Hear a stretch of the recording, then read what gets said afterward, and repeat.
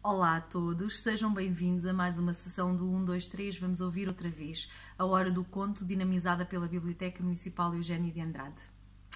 Hoje trago-vos uma história que tem tanto de assustador como de divertido. Querem saber qual é? É esta: A Estranha Visita.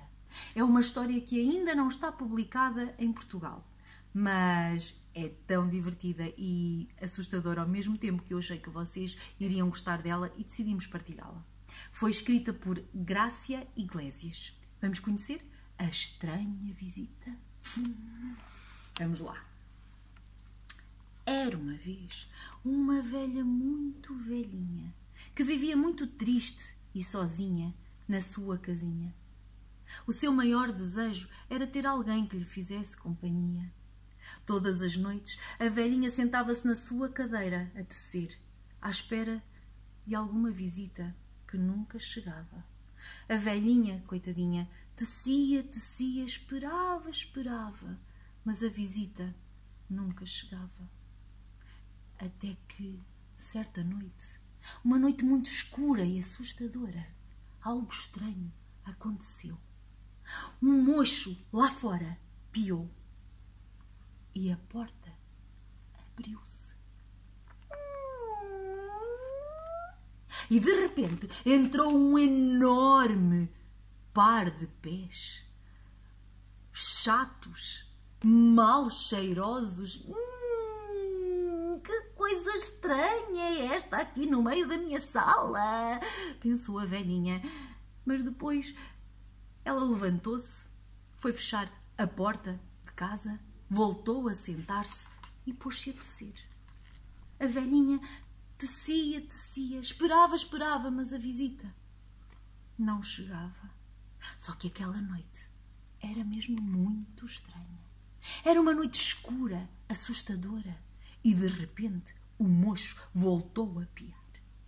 O vento soprou e a porta voltou.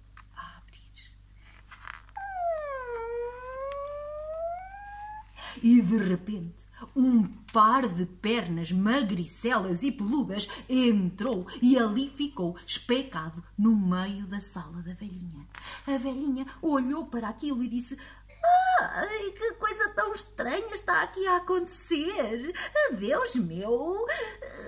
Mas logo depois, a velhinha levantou-se, foi fechar a porta, voltou a sentar-se na sua cadeira e pôs-se a tecer novamente. A velhinha, coitadinha, tecia, tecia, esperava, esperava, mas a visita. A visita não chegava. Mas naquela noite, muito estranha, escura e assustadora, o mocho voltou a piar. O vento soprou, um raio brilhou e a porta voltou a abrir. E um rabo enorme, gordo, entrou. A velhinha nem queria acreditar no que estava a ver. Ela olhou para aquilo e disse: Ai, que coisa tão feia! Ai, aqui no meio da minha sala! Ah, que coisa estranha está hoje a acontecer! Disse a velhinha. Mas logo depois ela levantou-se, fechou a porta, voltou a sentar-se e pôs-se a tecer. Ela tecia, tecia, esperava, esperava, mas a visita não chegava. Mas aquela noite, lembram-se, muito estranha, escura e assustadora, o mocho voltou a piar. O vento soprou, um raio brilhou, um trovão tatum, retumbou e a porta voltou a abrir-se.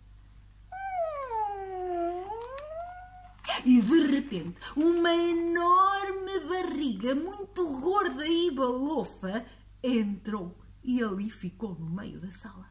A velhinha olhou para aquilo e disse: Ah, que coisa tão feia! Mas que coisa estranha é esta que me está a acontecer hoje aqui em casa? Ah, mas logo depois, a velhinha levantou-se, fechou a porta, voltou a sentar-se e pôs-se a tecer. A pobre velhinha tecia, tecia, esperava, esperava, mas a visita não chegava. Só que aquela noite era muito estranha, escura, assustadora, e de repente o mocho voltou a piar. O vento soprou, o raio brilhou, o trovão tutum, retumbou e a chuva caiu. E de repente a porta voltou a abrir.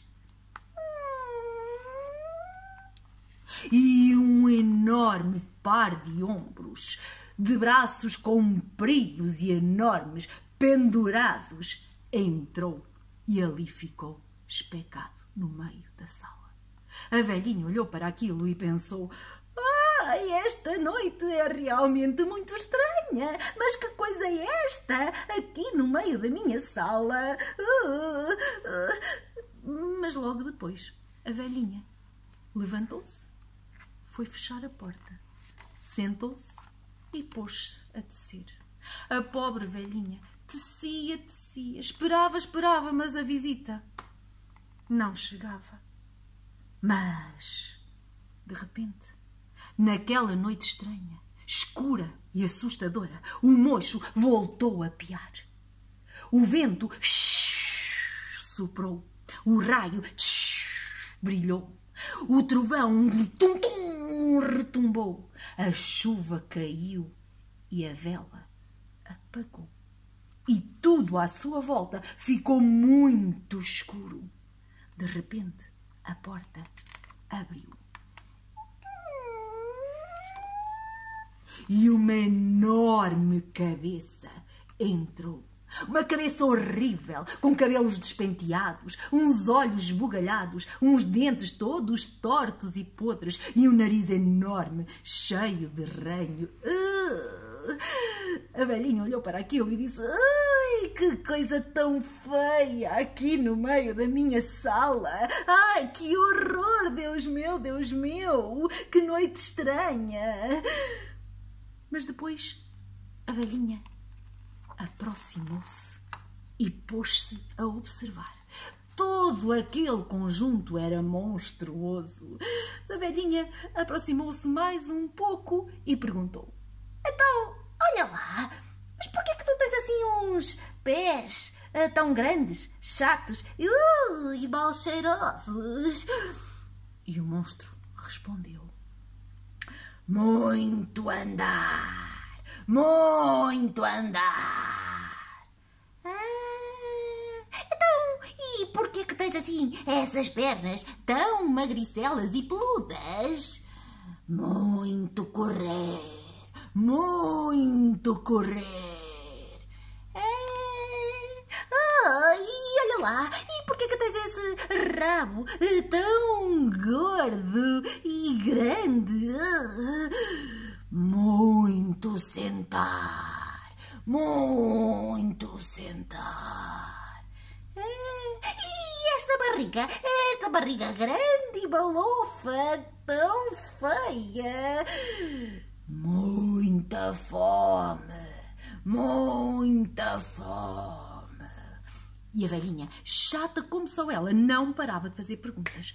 E, então, e essa cabeça horrível? E esses cabelos todos despenteados? E os olhos esbugalhados? E esse nariz todo cheio de ranho, com esses dentes todos tortos e podres? Ah, para não falar nesses ombros, com esses braços compridos e pendurados? O monstro, fartinho, fartinho de ouvir a velha a fazer perguntas, olhou para ela e disse-lhe: É para te comer! A velhinha olhou para o monstro e, muito aflita, disse-lhe: O quê?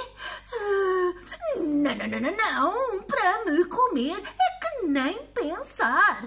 Olha agora, então, mas eu todo o tempo à espera de uma visita e quando a visita me chega cá à casa eu vou-lhe oferecer isto, uma velha, toda ressequida e toda magricelas, Não. Olha lá. uma tarte de maçã e cereja? Ah, uma tarte de maçã e cereja, pensou o monstro. Hum, não me parece má ideia, disse ele. Então, em menos de nada, a velha preparou uma mesa enorme recheada com tudo do bom e do melhor: pão, fruta, ovos, café, chocolate, tarte de cereja e maçã. Hum, uma delícia! Então a velhinha sentou o seu convidado no lugar de honra e depois limpou-lhe aquele ranho daquele nariz enorme, penteou aqueles cabelos todos despenteados e vestiu-lhe uma t-shirt toda lavadinha e cheirosinha. E os dois, juntos, sentaram-se à mesa e jantaram.